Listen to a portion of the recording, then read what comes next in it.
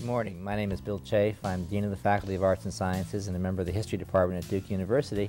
And we are very pleased to be here this morning uh, to conduct a living history interview uh, with Professor Samuel DuBois Cook. The Duke University Office for Institutional Equity and the Living History Program are honored to present this interview. It has also been made possible with assistance from the Office of the Provost, the Office of the University Librarian, the Office of the University Secretary, and the Political Science Department. Professor Cook was appointed to the faculty of Duke University in 1966. He was the first African American to serve on Duke's faculty. He left Duke in the winter of 1974 to become president of Dillard University in New Orleans, where he served for 23 years as president, retiring from that position in 1997, in the meantime pursuing a whole series of other activities during those years, including becoming the first African American president of the Southern Political Science Association and a long term of service as a member of the Board of Trustees of Duke University, where he served with great distinction. We are interviewing Professor Cook, President Cook, and I always feel as though professor always has to come before president, but uh, that's because that's our fundamental vocation.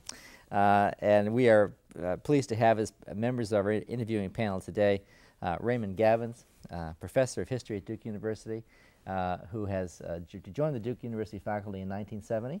That's uh, and Sheridan Johns, professor of political science, uh, who joined the Department of Political Science faculty in 1971. Is that correct? Actually, 1970. 1970, okay. So we have here a wonderful kind of a combination of uh, people who had the opportunity to share uh, at least some of our period of time at Duke with uh, our, our, good colleague, uh, Professor Cook. and we are wanting to explore with you today uh, Professor Cook, uh, and maybe we can call you Sam if that's okay. Please do. Uh, uh some of our, some of your experiences, uh, and get a better sense from you of uh, the kinds of activities that have made your life such a significant one for all of us. I want to begin by just asking you to talk a little bit about your personal background and what were some of the things that shaped your decision and your journey to Morehouse. Oh, well, I was born in Griffin, Georgia, small town about 35 miles south of Atlanta.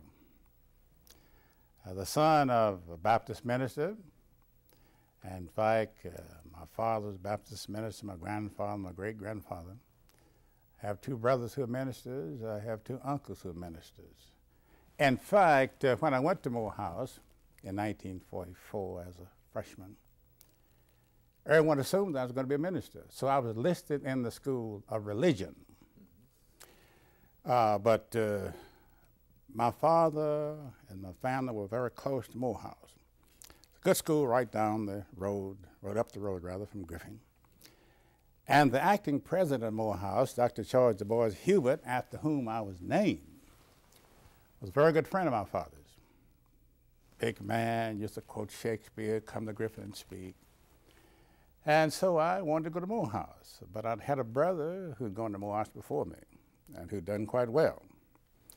And I had met a, a man who had uh, tremendous influence on my life. In fact, he still has great influence on my life. That's Dr. Benjamin Elijah Mays, uh, who's a great soul. And I'll be saying more about him uh, as this interview proceeds.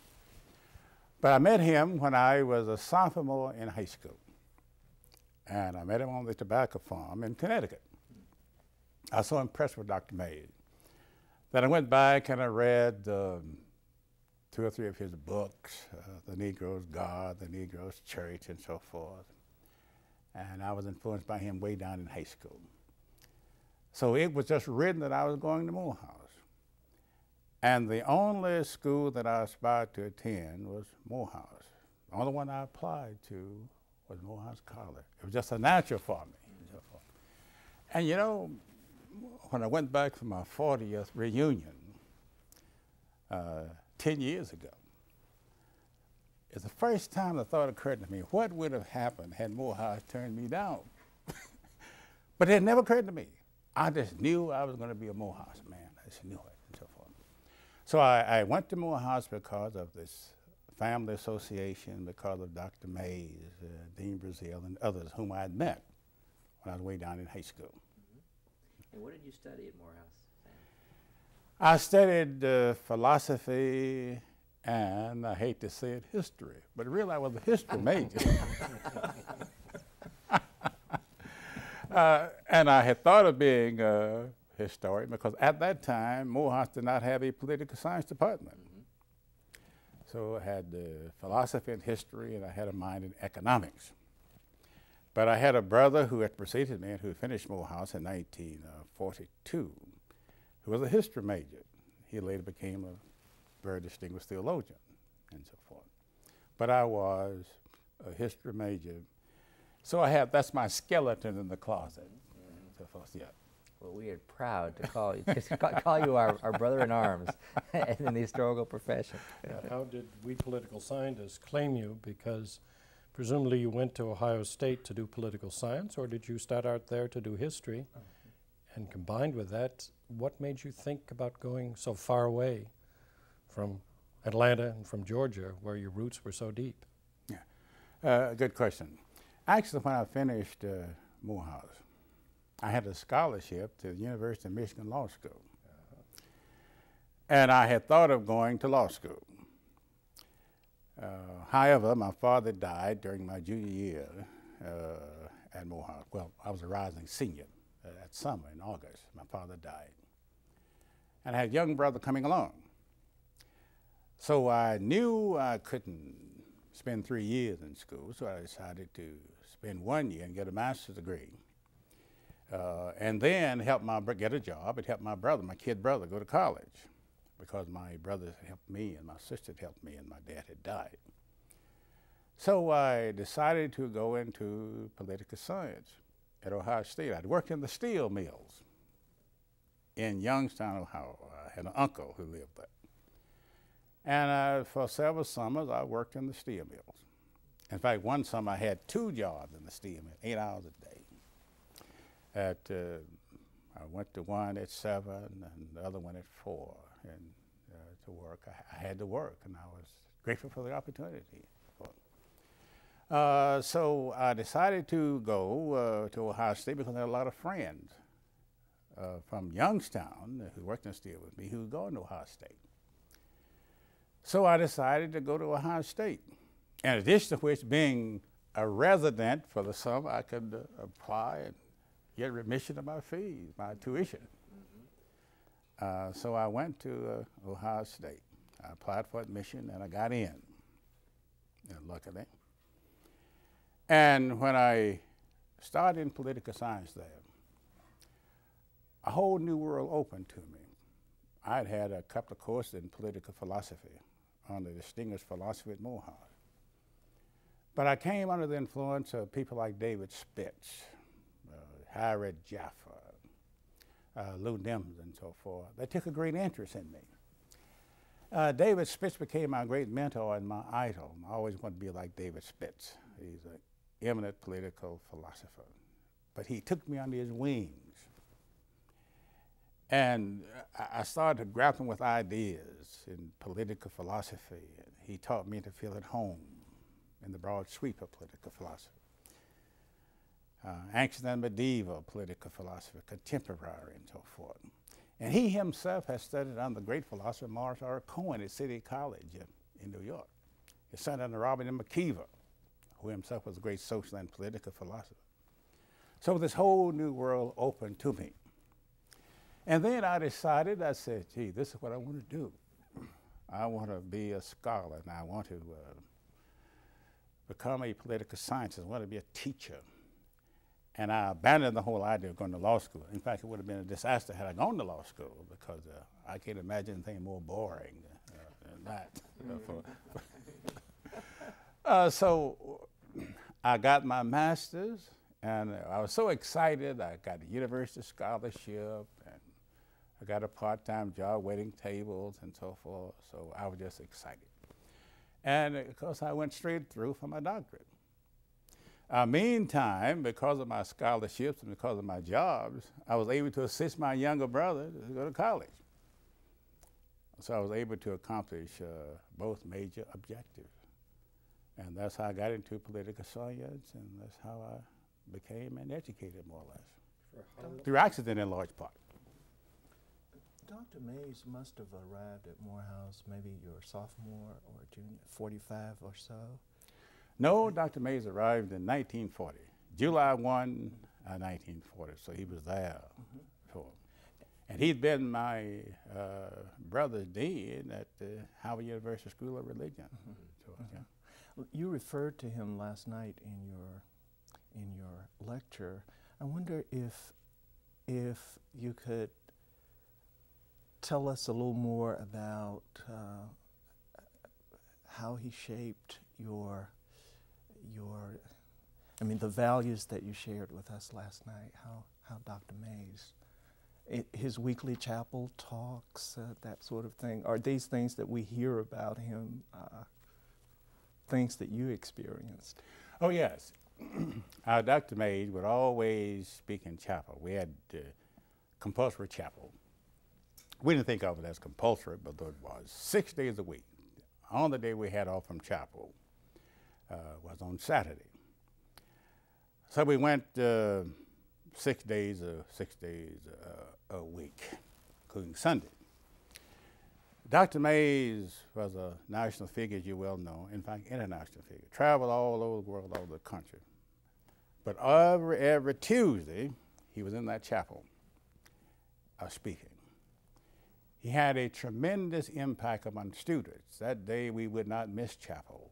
Uh, in fact, a friend of mine, Bob Sherrod, whom you perhaps know, said that even pagans sat in the window to hear Benny Mays on Tuesday morning. He would walk the floor. He was an inspiring speaker, tall, handsome, dark skinned, with a shock of gray hair right there, so impressive. And he worked hard on his speeches. He never took uh, them for granted. But he was, we would say, Buck Benny rise again, and he got standing ovation, but his ideas.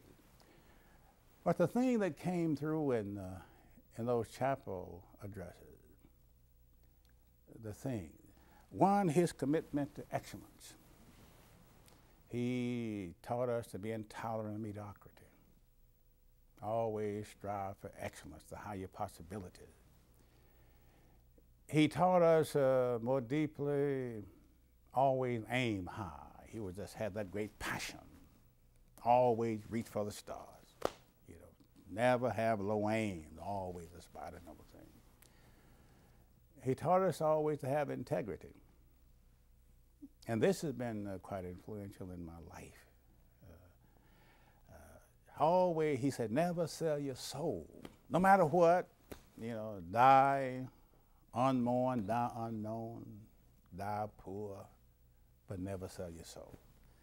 That was instilled in me and reinforced uh, uh, the, the teaching that I learned from my parents in Griffin, Georgia. My dad was minister and so forth. But uh, Dr. Mays had the intellectual grounding that my father, of course, did not have. My father had the intuitive wisdom and the integrity and so forth. But Dr. Mays said, never, never, never sell your soul. And later, when we became colleagues and I became a young professor at Atlanta University, we developed a great, great, great friendship. I'll say more about that uh, uh, later. Uh, but uh, in terms of influencing me and this integrity, I, I, said to him, uh, you know, you talk about never sell your soul. There are so many ways to sell your soul, insidious influences. And typically, Billy May said to me, I didn't tell you all that because I wanted you to figure out something for yourself and so forth. That. But striving for excellence, have integrity, always aim high, always work hard. He, one of his favorite phrases was, you got to burn the midnight oil. You got to burn, you got to work hard. And I suppose the, the, the, greatest influence that Dr. Mays had on me and on others at Morehouse was he convinced us that he cared deeply about us, that, that, that, he, that he loved us. And he disclosed to us something about higher possibilities, what we could become, what we could make of our lives through hard work, uh, through integrity, through discipline, through self sacrifice. And he convinced us and because he himself had achieved so much and his background was one of poverty in South Carolina on a farm, In fact, Dr. Mays himself uh, did not finish high school until he was 21. Had to work in the farm. And in South Carolina, he worked, uh, he went to school only three months out of a year. His mother couldn't read or write. And his father, um, though had a little education, had almost contemporary education. Didn't want to help him. In fact, told Dr. Mays that he uh, that going to school was wasting his time and his energy, and he didn't support him. And Dr. Mays went on to school anyway, defying, defying his father and, and so forth. So he had a tough background. And because he had achieved so much, uh, we knew we could achieve if we followed his advice. But he, he, he cared. He, he, was a, he was a tough man. He was a hard taskmaster. Uh, he would come down hard on us. He would meet with us, and we would get in some difficulty. He would encourage us to argue with him and he would knock us down. I mean, he's a man of rigorous logic. He'd knock us down on the floor. But he wouldn't, when he would knock us down, one always got the feeling that he was pulling for us. He was saying, get off the floor like a champion and come back swinging. Mm-hmm. Uh, so he encouraged us to be tough-minded, to be analytical, to be logical, to be rigorous, and to ask no quarters and to, give no quarters, uh, that kind of thing. So all these things, I think I learned from, from, from Benny Mays uh, and so forth. That, uh, you know, he, he, he, made me get a preview of, our own lives so if we followed advice. So that's why you went back to Atlanta, to Atlanta University, to be near Benny Mays? Probably that wasn't the only reason, but what drew you back there? Were there other opportunities or? Uh, yeah, well, when I, uh, I got my doctorate, and I had, uh, I was uh, blessed, I was lucky enough. Uh, well, at that time I, had, I didn't have my doctorate, really. I was getting my doctorate, uh, and uh, I was in the first group of, uh, sponsored by the American Political Science Association, called Congressional Interns by which we would go to Washington and spend six months with a congressman and six months with a senator. I was all excited about that possibility and so forth, and, in the first group of 10 in the whole country. So I was all excited. And then I was offered a position as assistant professor of political science at Dillard University in New Orleans. and uh, Dr. Dent, who was then the distinguished president of uh, Dillard University, uh, was very interested in having me come there. Meantime, I was trying to finish my dissertation. I came home one day from the Library of Congress where I met John Hope Franklin. Well, I'd seen him again. We, were, we shared uh, desks next to each other, Library of Congress. And I got this letter, greetings from the President of the United States. My induction papers going to the Army. Uh, Dr. Dent tried to convince uh, General Hershey uh, that my uh, coming to Dillard was in the national interest and so forth. One of the few battles Dr. Dent lost. So I went into the Army and spent a couple of years and great experience in the Army and so forth. That was 1953, October. And I got out in 55. Meantime, I completed my degree, my PhD, my dissertation, while in the Army. I'd go to my office at night and uh, study and write in fact, I gave myself a seminar on Aristotle and this, that, and other. So I finished my dissertation and got my PhD in 1954. Then when I got out of the Army, I rode around while still in the Army in anticipation of getting out. I got about 14 officer position in uh, predominantly black schools. And uh, I went to Southern University in, in Baton Rouge and stay there uh, one year. And it so happened that uh, the chair of the Department of Political Science at Atlanta University died. I planned to stay at Southern. I love the place. Uh, but Dr. Boyd died, and I was offered the position of chairman of the Poli Sci Department at Atlanta University. So I went to Atlanta. It was purely accidental, but what a great joy it was to get back to Atlanta and to be uh, around there with Dr. Mays and others. And actually, I, my office was in the same building where Dr. Mays' office was, uh, in the Atlanta University Harkness Hall. So his office was right down the hall from mine. And many times I would go to my office at night as a young professor working. Keeping the midnight oil. Wait a minute. But this man, Benjamin Elijah May, was down the hall working too when he was in town. So we developed this this, this, this, this, great thing. But that's how I got to my university, purely, purely accidental. Yeah. Sam, can I take you back to Morehouse for a second uh, yeah. uh, before you uh, go off to Ohio State? And uh, tell us about how large your class was and uh, some of the other people you, were, you met there and, and how Morehouse was as a place to deal with the, uh, as a base for dealing with the post-World War II discussions and intensity about uh, changing race relations in, in, in, the United States? Well, Morehouse is very small. I guess when I went there as a freshman, it was during the war, and I was an early admission student. I was 15 when I went to Morehouse. Um, the war was going on, and Dr. Mays uh, felt that he had to have a new system to have to keep Morehouse open, a new system of admission. So he developed a program to admit youngsters who he thought were able and could make it at Morehouse. So I was in that in that group, and uh, along with uh, another individual, some others whom I mentioned in, in the second. But Morehouse is very small. Uh, I suppose we had about 300, uh, maybe 400 students when I, when I went there. Very small. Classes were very small. Mm -hmm.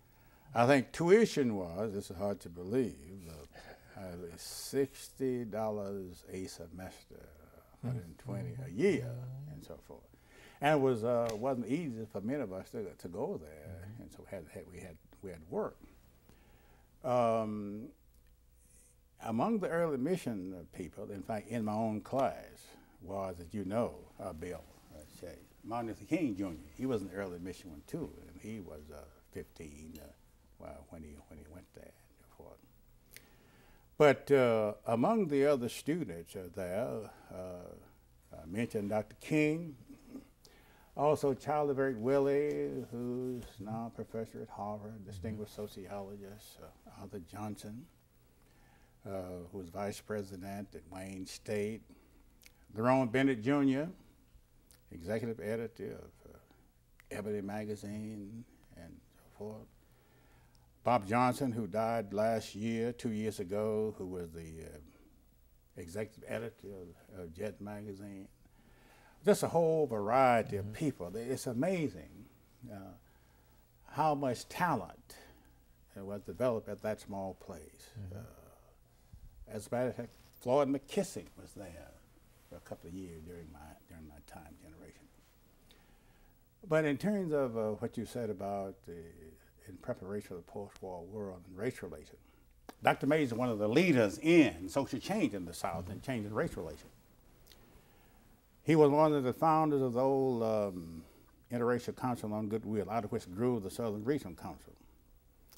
Uh, and the man for, he wrote a book on it and so forth, very close to Dr. Mays, mm -hmm. as, as you well, well know. But Dr. Mays was a man who believed in universal brotherhood. He was a vigorous, prophetic, courageous foe of racism, segregation. And he came down hard on it way back in the 30s and 40s. Mm-hmm. He was uncompromising. In fact, you read some of his speeches now, and they, they would be militant in the sense of uh, real, simple, direct, uncompromising social justice. Mm-hmm. But he was uncompromising on it. And he influenced a lot of people. And I said to Dr. Mays later, and we became friends in Atlanta, Dr. Mays, how'd you get away with it? I said, you gave speeches way back in the 30s and 40s, which would be, I know they're considered radical. In fact, you know, he was accused of being a communist and all this kind of thing. How'd you get away with it? And Dr. Mays uh, looked at me and he said, Sam, and I have forgotten this, when people think you are sincere, they will forgive you for a lot of things. he said they thought I was sincere in this and but he was uncompromising. And he influenced a whole lot of people, Ralph McGill, uh, Terry Sanford. When Terry Sanford was a student at the University of North Carolina, he came under Dr. May's influence and so forth. He's a great friend of Frank Graham and so forth. And I remember a lady uh, who lived in Chapel Hill uh, named Ann Queen who said to me that Dr. Mays gave me a social conscience, and he gave a lot of people a social conscience. And he was able to develop the moral appeal in terms of human justice and social rights in the tradition of the prophets uh, and Jesus of Nazareth in, in particular. Uh, and he intellectually and with his commitment to the social gospel, uh, people like uh, Walter Rauschenbusch and Ron. Niebuhr, Emil Brunner, uh, one of his great professors at Chicago, Henry Nelson Wieman, uh, who's one of the two persons on whose concept of God that Martin Luther King dealt with at Boston University. Uh, he, he, dealt with the comparison of the concept of God in Henry Nelson um, Wieman and Paul Tillich and uh, Dr. Mays has studied under Henry Nelson mm -hmm. Wieman at Chicago and so forth. But Dr. Mays was uncompromising, and he developed this philosophy on terms of human justice and race relations. So he prepared the seed, uh, in a sense of revolution. He, Martin Luther King Jr. called him his spiritual advisor, spiritual mentor, and so forth. But Dr. Mays was so, he, he really believed in brotherhood and social justice. And he created an environment at Morehouse where you had to rebel against injustice. You just had to. In fact, the title of his autobiography was, uh, uh, is, uh, uh, rather, Rebellion Against Injustice and so forth. Born, he called it, really, Born to Rebel mm-hmm. about injustice and so forth. Mm. But this was, this was the kind of atmosphere in which uh, so many individuals at Morehouse uh, cut their teeth in terms mm -hmm. of the civil rights movement. Mm -hmm. And Martin Luther King Jr. obviously was the, was the greatest one and so forth. Yeah. But a great cohort. Mm -hmm. What, yes, a, what a band of warriors.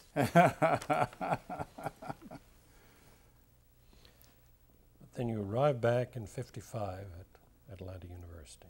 56. Or 56, mm -hmm. one year after one year at Southern. One year at Southern. And what had changed from that atmosphere that you'd experienced as a student, other than that you were sitting on the other side of the desk, but was the atmosphere different almost, not quite 10 years later, but almost a decade later from when you'd been there as a student?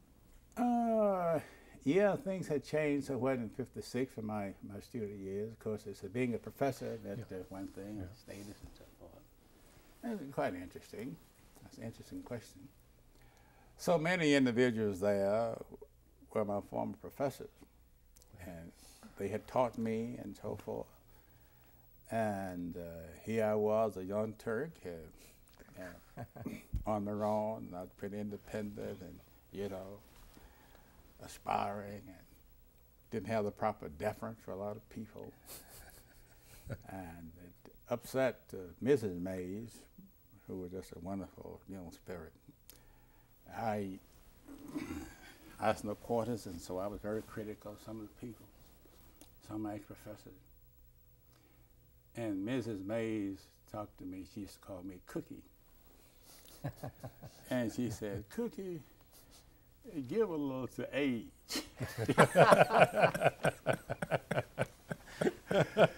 give a little to age. So I hear people talking about how you what you say and how critical and this, that, and yes. Just, just give a love to age and this, that, and that.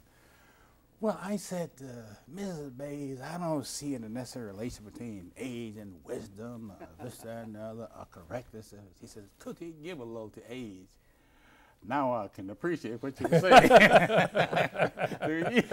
give a little age and so forth.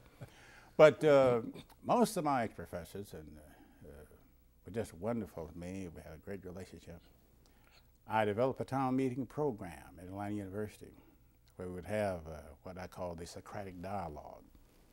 And we would have students and faculty participate in the program. We had great individuals. Uh, Dr. Mays was on. After 1961, the uh, initial speaker on the program, one of them would always be Martin Luther King Jr. Had uh, people like Ralph McGill, Eugene Patterson. You know, Eugene Patterson would appear on the program. Didn't have any money to, to pay them, so they did it gratis. And we would have these great debates uh, two adults and two students on each program. And they were really exciting. I, I think it's one of the uh, real important things I've done in my life. Life of the dialogue, we call it. And we would have these great sessions in Sage Hall Chapel at Atlanta, uh, Atlanta University. And debate great issues. We had Horace Mann Bond, Julian Bond father, to speak on that. And after that, we would um, have a post-mortem at our house, uh, invite a selected people, continue the discussion. And it just had a lot of fun, the excitement of life of the mind. You know, uh, a university ought to be the most exciting place in the whole world. It's just, just, just a wonderful life of the mind, the challenge, the the sense of wonder involved in the exploration of ideas, the dreaming, just, just an exciting place, really. And in one of these post-mortems uh, of our town meeting,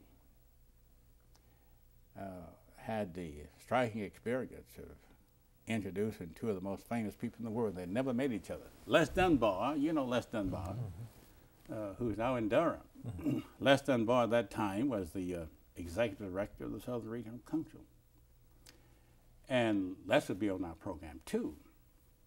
So I was talking to Les Dunbar about some people we should uh, uh, invite our house after the uh, town meeting that is, is, coming up. And Les Dunbar said to me, he said, Sam, so you know, two of the most famous people in the world are right here in Atlanta. And they have never met. So I said, Martin Luther King Jr. and who else? he said, Ralph McGill. Well, Ralph McGill is a great friend of ours, won the Pulitzer Prize and so forth. And he had a deliberate policy of not getting too close to people of influence and power. See, he couldn't write about it objectively and so forth. But anyway, I said, uh, I'm going to invite him. So Martin Luther King Jr. was speaking on it. So I invited Ralph McGill to the house. And I shall never forget Ralph McGill and Martin Luther King Jr. meeting in our living room on Beckwith Street in Atlanta. They met in the center and they talked and went into my study and talked for two hours. They became fast friends. And they became friends until Dr. King's assassination and so forth in, in 68. But they met at our home. Now, had I had a sense of history, I would have had a camera. Like, you know, you take all these things for granted and, and, and, so forth. But that town meeting I had at Atlanta University was really a, a, an exciting thing. Mm-hmm. And I had, we had one, uh, one subject uh, uh one month on what can students do to make the world better. Now, this was in the late 50s. And no one came with the idea of sitting in a thing like that. Just, like that. Had two faculty members and two students. No one came with that idea. But what can students do to make the world better? As a, as a segue uh, from there uh, toward Duke, um, without going too far into the Atlanta student movement, um, and I'm sure you were on the scene at that, that that event at Richards when Martin Luther King Jr. was was arrested. Can you can you give us a sense of the intensity of those years uh, for the campus and the community, uh, the sit-ins, uh, the demonstrations, uh, student activism? Uh, many of your own students, I'm sure, were involved. Uh, Julian Bond. I'm, I'm not sure if Vernon Jordan was in all that, but the activism of those years? Oh yes, well, uh, the with the uh, sit-in in Greensboro, I guess it's '61, I think it was.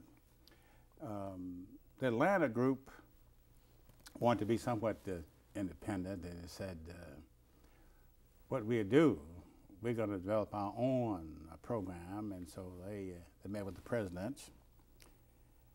And they published in the Atlanta Constitution Journal an appeal for human rights, where they provide the philosophical justification for social change and all that. And the Atlanta student movement, of course, uh, uh, was involved in all kinds of activities, the demonstrations, the sit-ins, and all that. Went to jail, the, the, whole works and so forth. There was a great deal of great deal of excitement uh, uh, in Atlanta and uh, uh, throughout the South.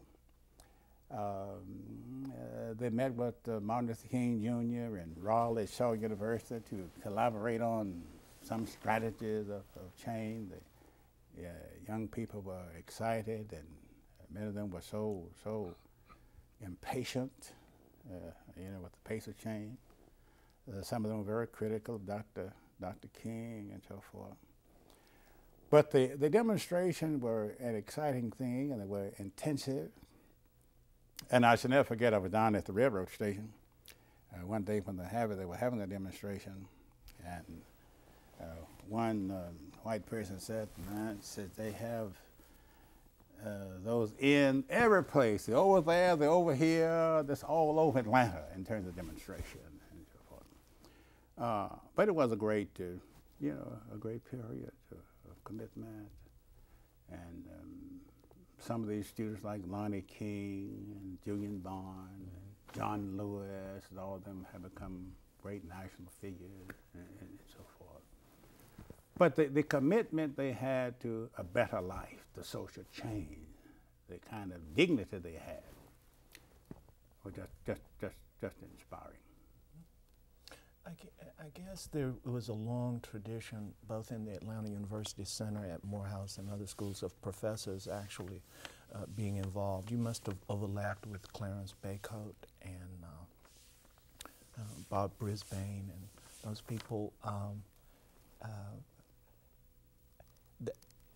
when when when you were uh, on the faculty at Atlanta University, did you feel that you were supported in this kind of activism from the administration um, to be involved uh, in uh, social change activities, downtown demonstrations, and so on? Well, on, on the whole, yes, supported. Uh, Dr. Mays, of course, was enthusiastic. Um, Dr. Clement, who was president of Atlanta University, uh, was more was more of a moderate, as mm-hmm. you're well known, and he was on the Atlanta School Board, so that obviously created certain constraints on on him. At least he thought they did anyway. And the other presidents of Atlanta University Center, on the whole, were very, very supportive. Uh, uh, you know, we had some who were more conservative than others. Um, but on the whole, uh, uh, very supportive. Uh, you mentioned Dr. Bacote, who's yes. the longtime chair of the Department of History at Atlanta University, and just just a great individual. In fact, the, I was at visiting him uh, uh, in the hospital at Emory University the night he died, and so forth. His wife was the last person to talk to him, and so forth. Great individual, very very supportive. You mentioned Dr. Brisbane. I went to his funeral just two weeks ago. He, you know, he died and so forth.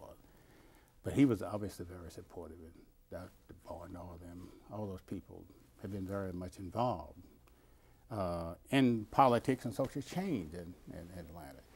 Now, of course, the younger professors, uh, people who are my age, were enthusiastic, like Howard Zinn. Oh, you know Howard Zinn uh, uh and his cohorts. Mm -hmm. So we had a little, uh, we had a coterie of uh, young professors, young Turks, just all over the place.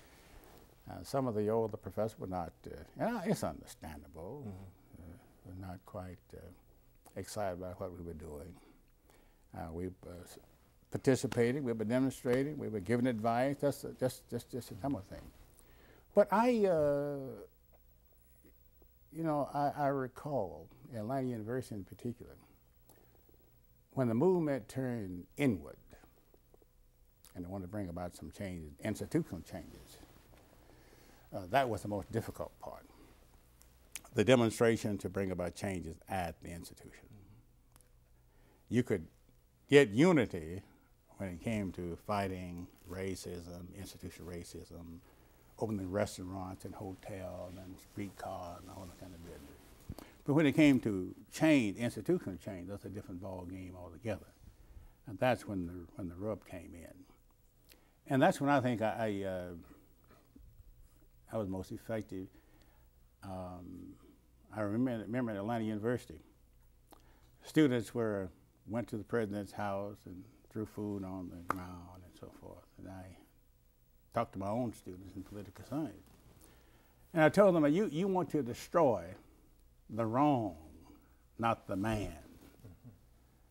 I said, you don't want to go to his house and, you know, upset his wife and family, uh, throw food around his lawn. That, that's not the way to do it. Uh, you want to have dignity and reason. You want to be decent about these things. Your means are just as important as the end, the message that we try to get over to them. And I think it worked for the most part. Sam, uh, what church did you go to in Atlanta?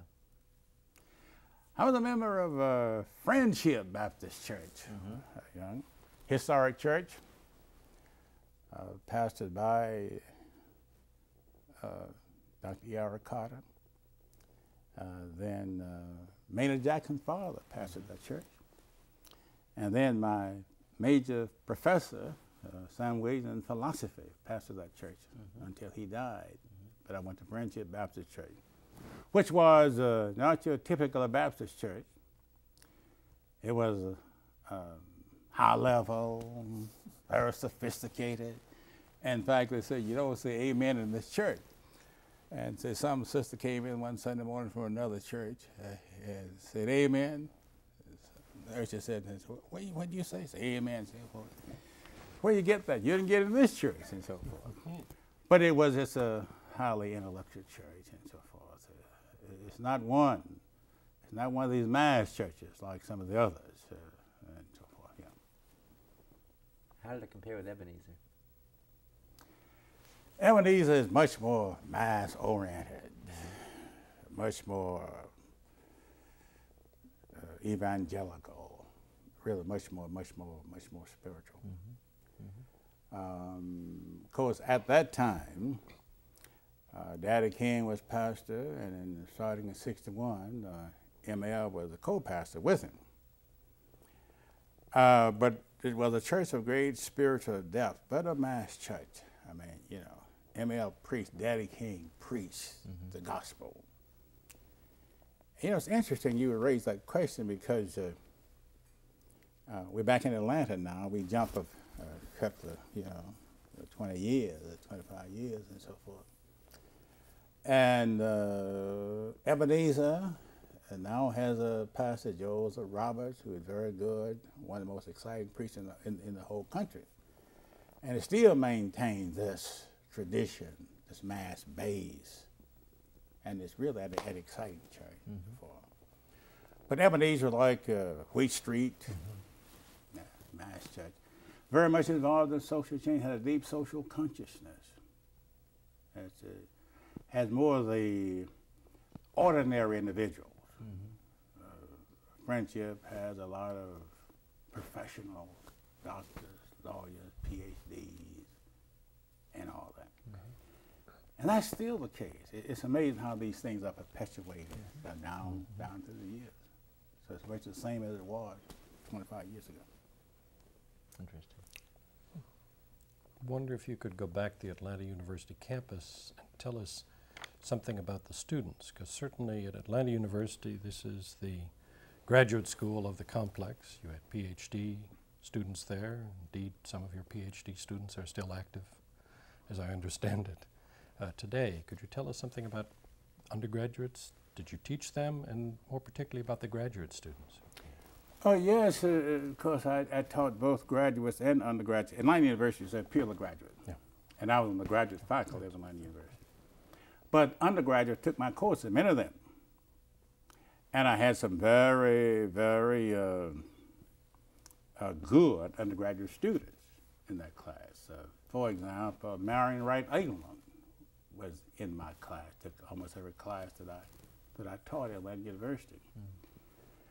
Uh, Lonnie King, who was one of the um, movers in the student nonviolent uh, movement and so forth, all of them took, took my class. But in terms of the graduate school, I had some really outstanding students who became uh, outstanding scholars. For example, Haynes Walton Jr., who has written a dozen books, and he was our distinguished professor at the University of, of Michigan, yeah. but who taught 25 years at Savannah State College. So, uh, C. Vernon Gray, another one, outstanding political scientist at Morgan State University that uh, I taught, and there were numerous other ones. I don't want to go into the name, but Haynes Walton is, Walton is perhaps the most mm -hmm. distinguished one. But we used to have one of the most exciting things at Atlanta University. We used to have a, a seminar every Monday involving the faculty and students uh, in the social sciences, political science, history, sociology, and so forth. And we would have all these exchanges, these dialogues, these encounters. Really, really an exciting place. Exciting. But I, I think at Atlanta University, I had a small group of students in political science. And I think I did my best job of teaching uh, there. A mm-hmm. small group. We had um, a commonality of interest. Uh, we would meet. One time I even gave a seminar, had one a seminar on Reinhold Niebuhr. And I had one student in that seminar but one of the finest seminars I've ever had. Mm -hmm. She was very bright. He would read The Nature and Destiny of Man one week, come back and we would discuss it. He'd read the second drama of history, we'd come back and discuss it, you know. He'd read Beyond Tragedy and we'd come away. So it was really that exciting and, and exciting time. I think I did my best job of, of teaching. Mm. And one of the, uh, as you know, all of you know, one of the great rewards, greatest rewards of, of teaching is to see your students excel, see them soar, mm-hmm. and express gratitude to you for the impact you had on their lives. Mm-hmm. Uh, you know, teaching is just a, as a noble calling. It's a, it's a divine enterprise. Uh, Morris R. Cohen said that teaching is really the priesthood of the intellect. The priesthood, and he's right about it. Uh, just so rewarding. But to see my, my students soar, to see them have an impact, see them write, see them teach, see them uh, just uh, a joy beyond price. Mm -hmm. Just so it be from. I saw one last. Uh, a young man, I think in political science, he had a man named Orr, and introduced himself, mm -hmm. and he was Haynes Walton, yeah. uh, student at Savannah State College. And he said, You wrote me a letter um, when I came to Duke, and you said that I am your intellectual grandson. Mm-hmm. And which I, I, said, Yes, I did. I remember that and so forth because I had taught Haynes Walton, how mm-hmm. Walton taught him. And uh, these students are a great inspiration to me now. I get great letters from Haynes Walton and other mm-hmm. former students, and they express gratitude to me.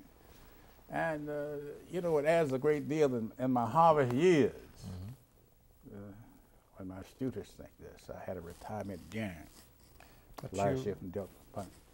You were at Atlanta. It was so exciting, so engaging. You were so engaged. Mm-hmm. How could you think about the possibility of leaving? I did. I thought I would retire at Atlanta University. a great institution. I had outstanding students. I was there. Morehouse was had a contiguous campus, Spelman, all and so forth. I had not planned to leave. Uh, you're really getting into a sensitive area here. and I see my friend Bill Chafe laughing because I think that was part of what's coming up. Uh, my coming to Duke in, in part was uh, was accidental. Um, you might read D'Souza's book, you know, he has a, on liberal education, he has a section there, and he mentioned how I got to Duke under affirmative action. That isn't true at all. Um, I delivered a paper at a meeting of the Southern Political Science Association in Gatlinburg, Tennessee. Uh, it had to have been in 1965, I guess it was. And it was on the foundations of political obligation. It was a, involved a panel of political philosophy. After I finished my paper, a tall, silver-haired man walked up to me and said, so this is a very good paper. I enjoyed it uh, uh, very much and, and, so forth. Said, uh, it was very good. I said, I appreciate that. Thank you very much. What's your name? And he said, I'm John Hallowell. I almost flipped because John Hallowell was the most distinguished political philosopher in the country. I had read his books as a graduate student, read his articles, and had even used him because he, uh, my dissertation at Ohio State was on the ethical foundation of democracy. And I had used arguments from John Hallowell against my major professor, David Spitz, who said he was the atheist. But you know, one of the great things about Spitz, he allowed me to differ with him and argue differently. He encouraged me. I argued uh, in terms of ethics and democracy and Christianity and democracy and so forth. David Spitz, oh, different, this and that. But I used John Hallowell. So here I am, a young professor, delivering a paper at the Southern Political Science Association. And this distinguished scholar walks up to me. Is that? And he said, you know what? I said, um, uh, you might, uh, you know, we might, you know, I should have do. I paid no attention. Got back, and John Hallowell wrote me a letter and invited me to come to Duke one semester as a visiting professor really, really visiting associate professor. And uh, I went to the president of Atlanta University, asked for a leave. He said we'd be fine. Said it'd be good for Duke, it'd be good for Atlanta University, be good for you. He sent me to the dean. And the dean said the same thing. And so I said, fine. So I wrote uh, John after a while.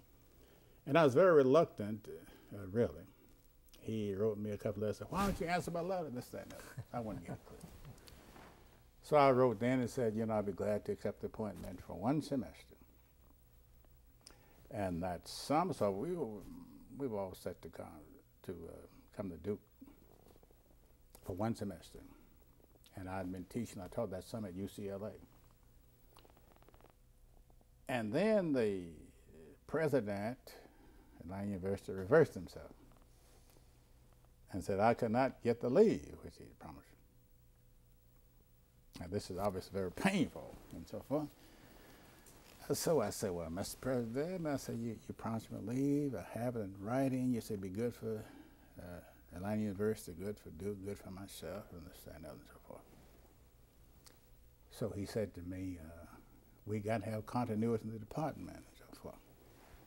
And so I understand that, but I got a good replacement, and so forth. And I, so we negotiated. All that summer, we exchanged letters.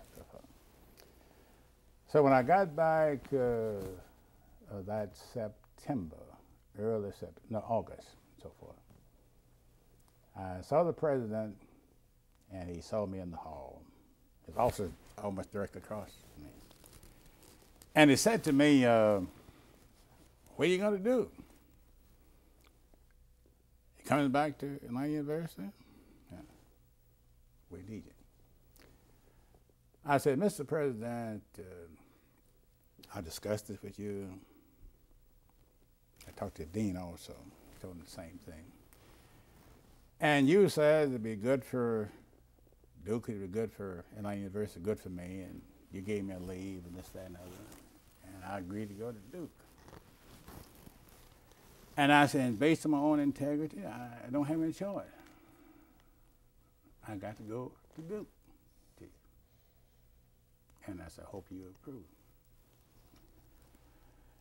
This president, who was a very distinguished educator and a historian, by the way, uh, I got a nigger, you'll the historian, said to me, the next thing he said to me was, when do I get your house? when do I get your office? So I said to him, Mr. President, I said, uh, you can get my office uh, next couple of days. I said, when you get in my house, I'll let you know this afternoon. I said, I got to talk to my wife and we got to make arrangements and so forth. uh, so I talked to my wife and this, one of her She's really at her best. She's very poised, very calm about it. And she said, I'll make the arrangements. So she called around the moving places and so forth and got Seventh Moving Company and she made arrangements when we could, you know, the funds could be moved and this, that, and, and so forth. It's really just one of the just most sparkling moments of our marriage. So she handled all that. So I went back to uh, went back to the president afternoon. Mr. President, you can get your house, I think, on Tuesday of next week. We, we move. So I, I, came to, to Duke, and really, I didn't have a job the second semester. Been amazing integrity. So, you know, I told him, Dr. May, sometime I, I hate to death. I miss as much as I love you. this bit of integrity is getting me all kind of difficult but had to do it to live with. So I came to Duke, and I told John Hallowell, I said, uh, you know, I can't say I resigned to Atlanta University. The president revoked my leave and so forth. Uh, he go back and this and another. So John didn't say much. But you know what's it's interesting? Joel Fleishman told Vernon Jordan and I don't think he had his basis said, look, Duke is not going to let Sam Cook get away.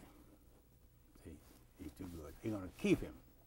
That, you know, that's going to happen. He's not coming back to Langland because he didn't know about what had happened and so forth. So uh, John Hallowell worked it out, uh, whereby I could teach part-time uh, that uh, second semester. And then I got the offer uh, with tenure to remain at, at Duke. So that's how I that's how I got to Duke. That's peculiar combination of circumstances. So I had not planned to leave Langland. You weren't actively looking for any other offers. I was, I was forced out. well, that's a that's a great uh, moment for us, I think, to wrap up the first part of this of this discussion, Sam, because we we've we've had this great journey with you so far uh, and here to learn a great deal about your experiences at, at Morehouse and in Georgia and Ohio. And, and uh, we're delighted to finally have you here at Duke. Uh, and we're going to break at this point and come back in a few minutes and, and, and resume our talking with you about uh, the Duke part of your experience and then move on to your experience at Dillard. So we'll, we'll take a break now for a few minutes. We're back with President Samuel DuBois Cook from Dillard University and Duke University. And we had just gotten to the point, Sam, where we were talking about uh, uh, your move to Duke and the fascinating circumstances under which that took place. And I'm going to ask Ray to carry us from there. Dr. Cook, share with us your memory of the campus community climate of those uh, mid to late 60s years. Um, I was intrigued last night by your reference to the first uh, class of African American undergraduates with whom you interacted and so on. So, share with us your memory of the climate in those years? Well, in terms of blacks, the so was very small, uh, 15 and 16 black undergraduates. Of staff, you didn't have any even black secretary. There was one possible exception, and that was in the divinity school. I'm not exactly sure when that secretary arrived, but there was the only black secretary in the whole university, and so forth. And of course, black faculty didn't have didn't have any uh, when I when I first arrived.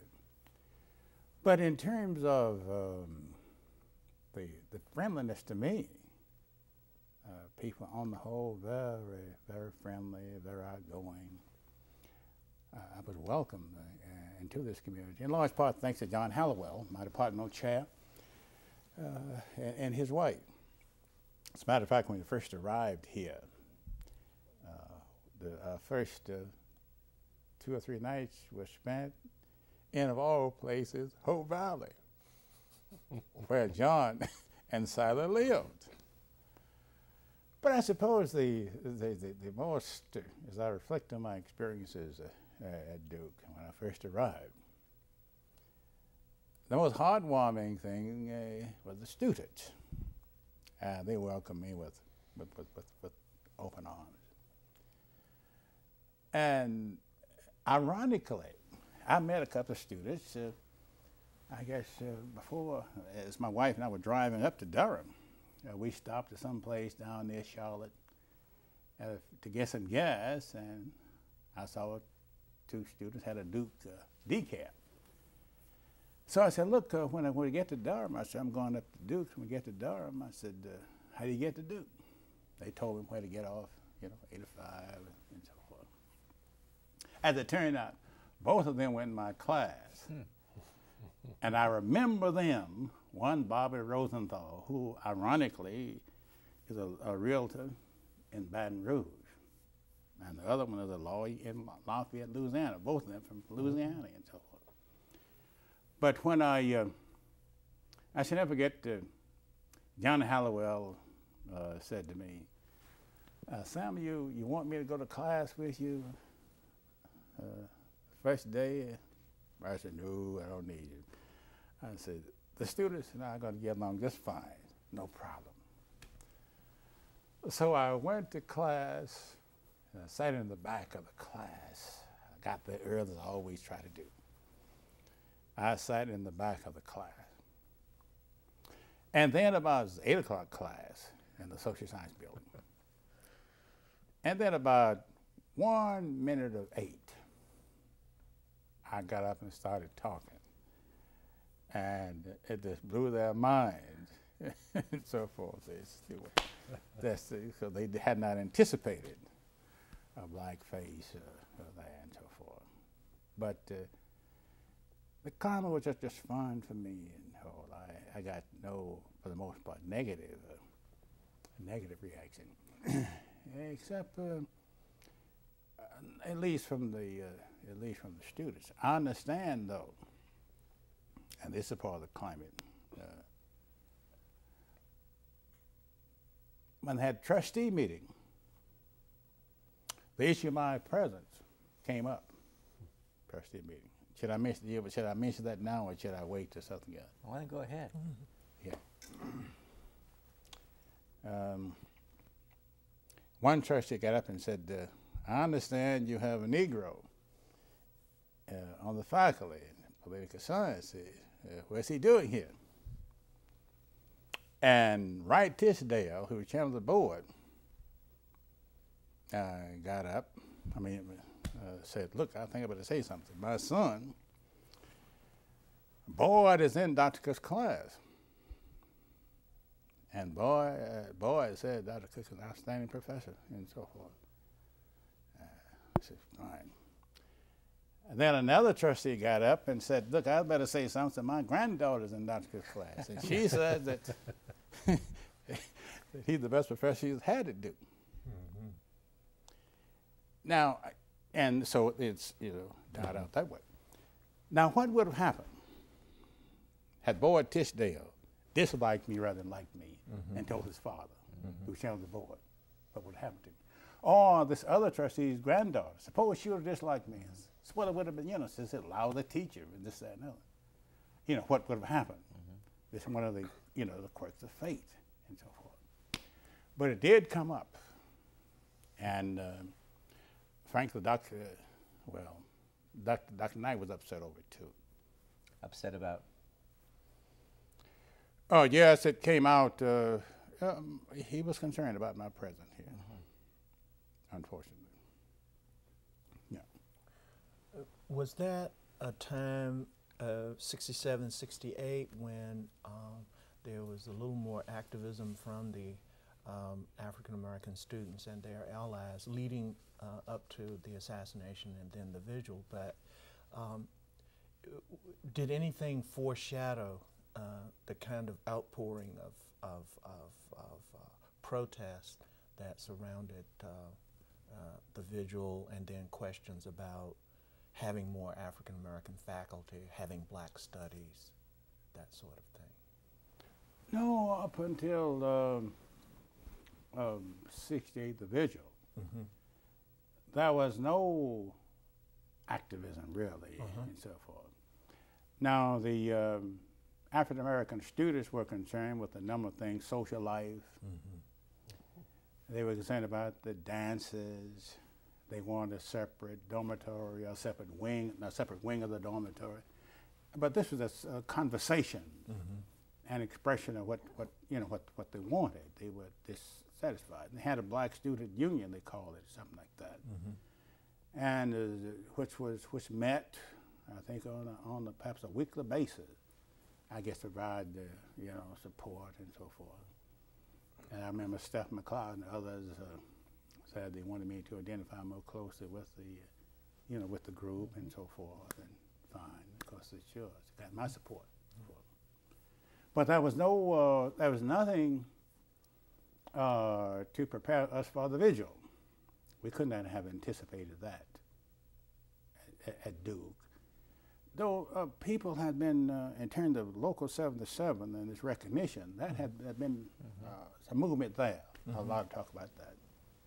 And we had a few demonstrations in favor of the, of the union. Uh, the union had not been recognized. In fact, that's one of the issues, the recognition of Local 77. Uh, so you had some activism on that level, but not in terms of any real organized and sustained effort in terms of, in terms of blacks. John Sell and others last night referred to your um, your uh, speech at the vigil. Um, wh- what is your memory of of the vigil, and uh, I mean, share with us your your response to the assassination? Uh, now that we know about your interaction with Martin uh, at Morehouse. Uh, the, the vigil was one of the really great moments, great experiences of my life. I think I go to my grave with memory of that vigil. It was one of those mountaintop experiences, exhilarating. Uh, in fact, I, I said uh, a couple weeks ago uh, that the, the, the vigil was one of those moments in which the word was made flesh, just like real in existential terms. I had never seen anything like it, never heard anything like it. In terms of my own reaction uh, to the assassination, I, I must confess it was the closest I've ever come to bitterness. I was really upset with it. And I said, uh, when, I, when I was called by the Chronicle, I said, every white racist had his hand on that trigger. And this upset some of my colleagues. They said they were surprised at me. I said, this is the way I feel. Um, John Krantz, remember Krantz? Fred, Fred Grant. Fred Krantz, yeah, who lived two doors from us, uh, called me. Said, "Well, we got to get to, we got to get together and do something in terms of Martin Luther King." Jr." And I said, "Fred, let me tell you one thing." I said, "White racists kill Martin Luther King. I'm gonna let you folks do something now." I said, "I'm going to Atlanta to see ML's parents. I'm catching the plane the next hour." I was really upset without question. When I got back, we got back that, uh, I guess, a Sunday. I had a, a note that said, come to the quad and bring some groceries, soft drinks, this, that, and other, so forth. I thought about it. And I told my wife, I said, let's, let's, let's oh no, I, don't, I will go over. Let's go to the grocery store and get some things. Went to the grocery store and got some items. And I said, I'm going to take them over to the court. I turned down Campus Drive. And I looked out there. I think one of the most glorious sights in the whole world, all these people out there. And I was just deeply moved by it. So I gave the food and drink to somebody, and of course I joined them and so forth. It was just, just inspiring, just, just elevating. And to see these, these youngsters overwhelmingly white uh, from the small towns and hamlets of Georgia, South Carolina, and North Carolina, as well as elsewhere. But seeing from this time out there on the quad was just an inspiring and, and experience. And the longer they stayed out there, I understand the, you know, more participants uh, there were. And here they were in all that dignity, singing the song. It was just, just, just, just glorious. And that, in large part, saved me from bitterness. After I saw that, I said, there's hope in the world. So I could talk about the beloved community mm-hmm. at the vigil after I came back from Martin Luther King Jr.'s funeral. But the vigil, I said, it was so special.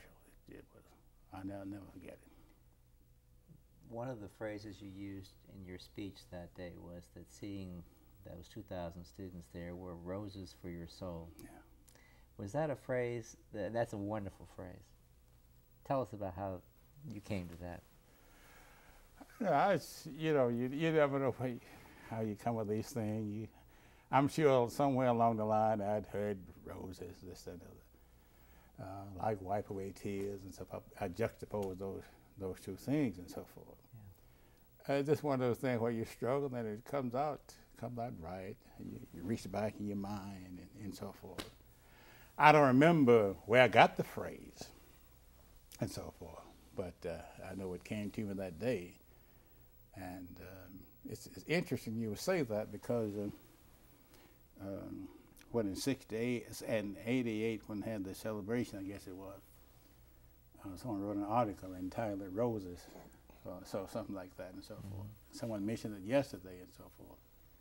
Just, you know, that's one of the lucky things that just come out right and so forth. It's not luck, Sam.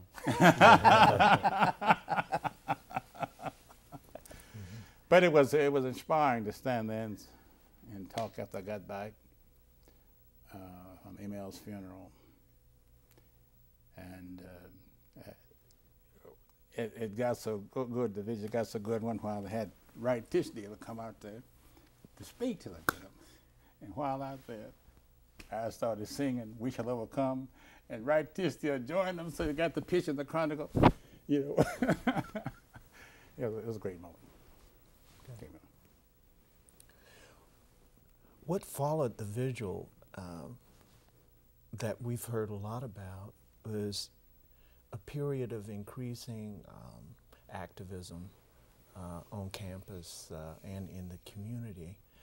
Uh, do you have memories of any of the people who were community connected, like uh, Howard Fuller, uh, uh, who was very much involved in Uh, some of the union uh, organizing uh, campaigns, community based uh, leader in Durham.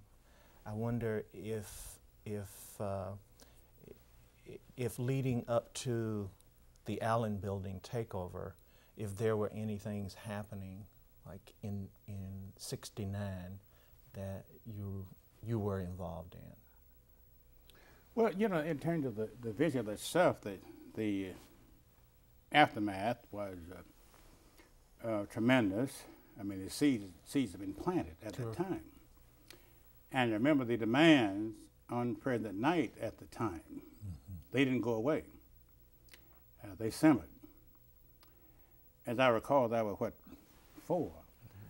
Uh, one was that the president would sign, and his various men in the Durham Herald, advocating a day of mourning and identifying with the goals of Dr. King. Mm-hmm. Another one was that he resigned from the Hope Valley Country Club mm-hmm. uh, because it was not only segregated, but it was exclusive. It would not admit not only blacks but Jews to membership. Mm-hmm. Uh, the third one was the increase in the minimum wage from what 115 to 160. Could you imagine Duke with all this money exploiting workers like that? And the fourth one was that the president appointed a committee consisting of students and faculty and staff to explore the possibilities of collective bargaining. Didn't demand the recognition of the union, uh, but explored. So these issues summered because they were not addressed and so forth. Uh, and you had uh, activism on all these issues. And clearly, I think the, the president uh, was somewhat paralyzed after that. As a matter of fact, during the vigil, he got sick and was uh, out of action for quite some time. And R. Taylor Cole, who was the provost, uh, mm-hmm. took over and so forth. Uh, but uh, he, after that, he was, I think, for the most part, ineffective and it was clear that he, he was going to resign pretty soon. When did you decide to go to Ford? At what point did that happen? Did that happen in 69, 70? 69. 69. Uh, 69. Uh, I got the call from uh, Jim Arms of the Ford Foundation uh, that Ford wanted me wanted to talk to me about it. I wasn't interested in going to Ford Foundation. I was interested in teaching. Uh, then uh, Bundy called me about it. And I talked to Dr. Mays and some others about it uh, when I, uh, you know, developed some interest. And Dr. Mays said, well, said, uh, you can go up there and so forth and uh, you can have an impact. So go up there and be Sam Cook speak your mind. And if you do that, you can make a contribution. So go up there and be an advocate the way you, you do. So I thought about it, and then I went up and, and talked to Bundy. And I said to Mike McGeorge Bundy, uh, Mr. Bundy, how long would the Ford Foundation be interested in, in quote, the Negro problem? you tell me, you, you mentioned your report, this is the nation's highest priority. And he said that, solving the Negro problem. How long you be interested? As a foundation, have a record and a reputation for short range interest. And without hesitating, McGeorge Bundy said, uh, as long as there is a Negro problem, so the Ford Foundation is committed to it. So not only am I committed, but the board is. And say Henry Ford himself I guess the grandson of the founder isn't interested and so forth. So I decided to explore possibilities there. I got to leave for one year, and then I got a second leave. Uh, so I was there for two years right. before, yeah. Right. Shortly after your arrival at Ford, uh, Duke uh, submitted an application for an interdisciplinary program in Afro American Studies. Um, I think that was an opportune moment. Um, did did that initiative um, uh, cross your desk in any way, or? Uh, yes, it did. uh, uh, yes, it did, and I was very honest and open, Ford Foundation. And I told them told the vice president that Duke had a good program in the making, and I thought, well, to make a grant to, to Duke University. And I talked to some people and, and so forth. And. But uh, I was very open about it, yes. It did cross my desk. I was very enthusiastic about it. Right. Because I, I thought Duke had the potential to the African Americans. I knew, I knew Duke needed it, and I knew Duke would have a quality program. So, yeah. Right. And by the time you returned from uh, from the Ford Foundation, were you were you satisfied with what you saw uh, it uh, implementing that initiative? Uh, can you talk about that a little bit? Uh, no, I, I wasn't satisfied. Uh, uh, that's been one of the disappointing things about Duke's African American Studies program. Uh, and I raised this issue when I was on the board of trustees as an active member, uh, assistant. It languished in the background. It was not one of Duke's priorities, I'm sad to say. Um, this just went on and on without leadership, without content, and so forth. Uh, but I must confess uh, that I'm delighted about subsequent development. Yes. I, I think the appointment of uh, uh, Dr. Holloway is uh, great. She's very able, very committed, highly respected, so forth. And uh, I'm sure now the program is going to take off after all these years, uh, 30 years. And I know it had the support the president, the provost, and the dean. Yes. I know the dean is behind it. so I'm really optimistic for the first time. And I, I, I worked on the initial, I was on the initial committee in 69 and so forth. I've been following it. So it's for the first time, I feel good about the program. Right. Yeah. Sam, I'm going to sort of uh, intervene here a little bit because I, we, we want to spend some time with you talking about your 23 years as president. Uh, and that we have a, not a whole lot of time to do that, but I, it must have been a great challenge for you to take on that kind of responsibility, uh, uh, uh, leading a major university, uh, knowing you're not leaving completely the teaching profession, but nevertheless moving into an era of challenge. Can you tell us about how that how that happened and, and what your strongest feelings are about your presidency? Oh, this is, it's difficult. To, I never wanted to be an administrator. I, you know, I love teaching. And I have a sense of divine vocation. I think the Lord sent me into this world to teach. I enjoy it so much. I can hardly wait to get to class. I, you know, I love my students. When Dillard called me about the presidency, I told him I'm not interested. He called again in a couple of months, and I told him, I said, look, I'm not interested. He said, come down and so forth. I said, look, no point in wasting my time and yours. I'm not interested. I want to teach. This fascinated them. What I didn't know is that my saying no intensified their interest. the man who doesn't want, that's the man we want. so they started this, that, and the other.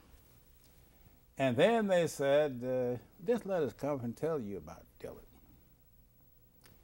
And I agreed then. This was three months later. So they came up to my office, the chairman of the board and the vice chairman. Talked to me about it, and I was impressed by the facilities, by the integrity of the president of the board and the vice president, uh, president. But still, I said no. And so it, this took another month or so. Uh, then they invited me to come down, just look at the campus. So I went down and took a look at the campus, met with faculty members and so forth. And I walked across that beautiful campus, you know, because you've been there, early one morning. I had a flashback. I saw none other than Benjamin Elijah Mays walking across the campus at Morehouse in a hurry, going to his office. I saw Benny Mays just as clear. And I said, you know, if I can do 125th of the students at Dillard, what Dr. May did for us at Morehouse, then I know my life would not be in vain. When I came back to, to Duke, uh, my wife said I was different. Uh, Dr. Mays, I talked different. I said to Dr. May, and said, Dr. May, you tricked me. you tricked me into this presidency and so forth. And when I explained, I saw that picture of him. And that's when I, that's when I decided. And my first honorary degree, of course, was to Dr. May. He's my first commencement speaker and this, that, and the other. But I, I said, uh, I thought I would miss teaching a great deal. I really didn't, because I didn't have time. In addition to which, uh, a president is a teacher. Sometimes, sometimes I have to teach the board of trustees, other faculty, you know, alumni and so forth. I got to teach them and so forth. So I, so I never missed uh, the classroom per se. I had a wider audience and so forth. And as president, I could do something. I could dream and I could make things happen. I could nurture young faculty members. This was one of the great joys. I could, uh, uh, with the help of others, of course, establish programs that I thought would be exciting for students. And we developed the University Scholars Program, the Presidential Scholars Program, to attract top flight students. One year, a student turned down 14 scholarships, most of the Ivy League schools, to come to Dillard to be a university scholar we could develop programs like uh, the Japanese Studies uh, program and so forth. Or, which is one of my pets, the um, National Center for, Center for Black Jewish Relations. Mm -hmm. All those things became very meaningful to me and, and, and very, very, very exciting. But to deal with these young people, to try to inspire them, to try to project a vision, uh, you know, a president, just like a teacher, the greatest thing a teacher can give a student. Not a whole set of facts, this, that, and that, but his vision of life, his vision of the higher possibilities of intellectual life. Project that vision. And let students buy into it, let them wrestle with it. They don't have to accept it, but let them wrestle with it. Let it, let it flow through the currents of their lives. And that's what a president can do for the whole institution, students, faculty, and what have you. So while I didn't teach in the classes, I mm-hmm. had a lot of contact with students. We lived on campus.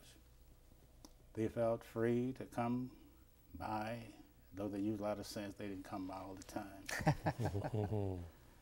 uh, but that's just, just, a, just, just a real joy. So development of program, go out and try to raise some money to, uh, you know, to help them. Discuss ideas and so forth. This is great joy, mm-hmm. being president, yeah. Do you miss it? No, I don't. I'm glad after that long tenure, and I was blessed, uh, you know, with good health all while I was there. I wanted to retire at the top of my game when I was in good health. I didn't want them to drag me out, you know, feet first, or this, that, and the other, stay there until health was broken. So I want to get out you know, there, there's one, one last set of questions I think we'd like to ask you in the last five minutes of this interview. We, you talked earlier about your wonderful wife and the way in which she responded to the Atlanta University president and the move and all that. Will you tell us a little bit about your thoughts about your family and, and, and, and what you've been through together over the years? Well, that's the most blessed uh, of all the experiences. The supportive, the nurturing environment of my family. You need that nurturing support, uh, that inner network and so forth. And I've had the love of my wife and my and my family uh, throughout this whole period. Uh, my wife, since we married in 1960, and, and of course my kids later. And I tried to avoid letting the presidency get in the way of my family life. When I was away, and I was away a great deal, you know, the president had to travel a great deal. I called home while I was in this country every day and talked to my wife, talked to my son, talked to my daughter. And each time I always end, I, I love you, and so forth. So, you know, my being away was somewhat mitigated by the constant communion I had with my family and my kids. I was especially concerned with my kids, you know, my being away a great deal, and I've heard so many stories about that and so forth. Uh, and the other thing, you, you don't care about them. I wanted to reassure my kids on a daily basis. So they knew if I were in, in California or New York or Durham what have you, Dad was going to call that night before bedtime, at 10 o'clock or what have you. Uh, but the love and support I've had uh, my wife and my kid just been redemptive and inspiring. And I've tried to return that love. Well, you have returned that love to them and to us, uh, and you have made a tremendous difference to this university uh, by your leadership and your engagement and your commitment.